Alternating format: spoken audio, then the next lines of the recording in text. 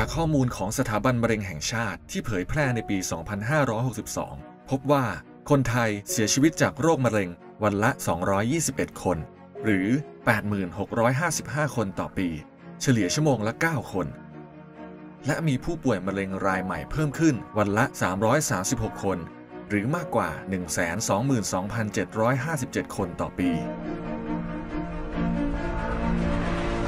สอดคล้องกับสถิติขององค์กรระหว่างประเทศ เพื่อการวิจัยโรคมะเร็ง หรือ IARC ที่พบผู้ป่วยเสียชีวิตจากโรคมะเร็งทั่วโลก มีแนวโน้มสูงขึ้นในทุกๆปี โดยคาดว่าในปี 2573 จำนวนผู้ป่วยเสียชีวิตจากโรคมะเร็งจะสูงถึง 13 ล้านคน เราทุกคนมีความเสี่ยงสูงถึง 40%ที่จะป่วยเป็นมะเร็ง และเมื่อเป็นแล้วมีโอกาสถึง 50%ที่จะเสียชีวิต นี่คือความจริงจากสถิติทางการแพทย์ ที่ปฏิเสธไม่ได้ แต่วันนี้โลกได้ค้นพบวิธีการรักษารูปแบบใหม่ๆ ที่จุดประกายความหวังให้กับผู้ป่วยมะเร็ง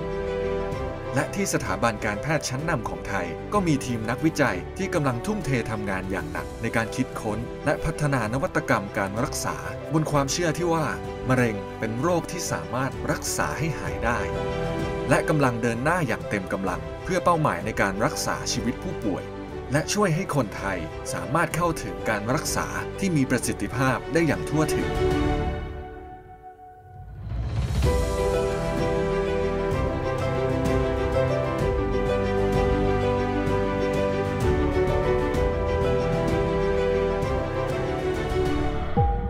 เราได้พัฒนา CAR T cells ชนิดที่เรียกว่าไม่ใช้ไวรัสในการดัดแปลงพันธุกรรม ซึ่งเป็นวิธีที่ค่อนข้างใหม่ จากการวิจัยในหลอดทดลองและในสัตว์ทดลอง พบว่ามีประสิทธิภาพในการควบคุมมะเร็งเม็ดเลือดขาวและมะเร็งต่อมน้ำเหลืองค่อนข้างสูง และมีความปลอดภัยสูงทำให้เราสามารถพัฒนาต่อไปในการวิจัยขั้นต่อไปในมนุษย์ ตอนนี้ได้รับการอนุมัติจากคณะกรรมการจริยธรรมการวิจัยในมนุษย์คณะแพทยศาสตร์จุฬาลงกรณ์มหาวิทยาลัยเป็นที่เรียบร้อยแล้วนะครับ แล้วก็สามารถรักษาผู้ป่วยรายแรกได้ในเดือนสิงหาคม ก็ถือว่าเป็นก้าวกระโดดที่สำคัญ สามารถเพิ่มคุณภาพชีวิตของผู้ป่วยได้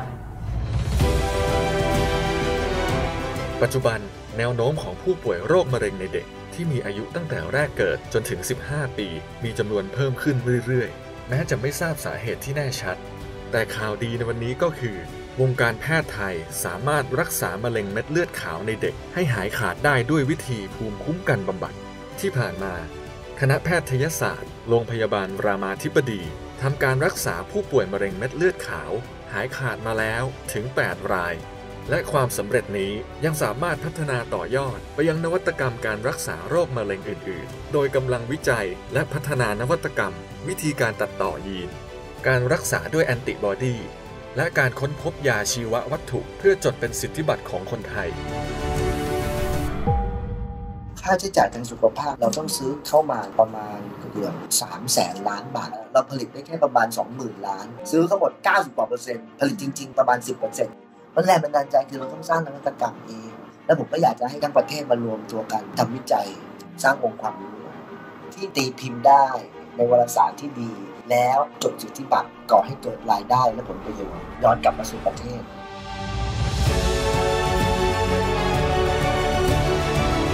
เพราะเราเชื่อว่า โอกาสสร้างได้ กลุ่มธนาคารทิสโก้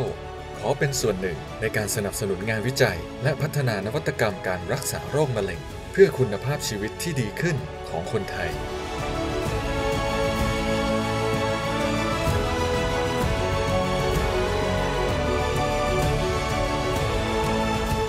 เราเชื่อมั่นว่าบุคลากรทางการแพทย์ของไทย มีความสามารถไม่แพ้ชาติใดในโลก ขอเชิญชวนสังคมไทยทุกภาคส่วน ช่วยกันเป็นกำลังใจ ร่วมสมทบทุนสนับสนุนโครงการวิจัย และพัฒนานวัตกรรมการรักษาโรคมะเร็ง ของสถาบันการแพทย์ของไทย ให้มีความก้าวหน้า สร้างผลงานอันจะนำไปสู่การเอาชนะโรคร้าย ได้อย่างต่อเนื่องและยั่งยืน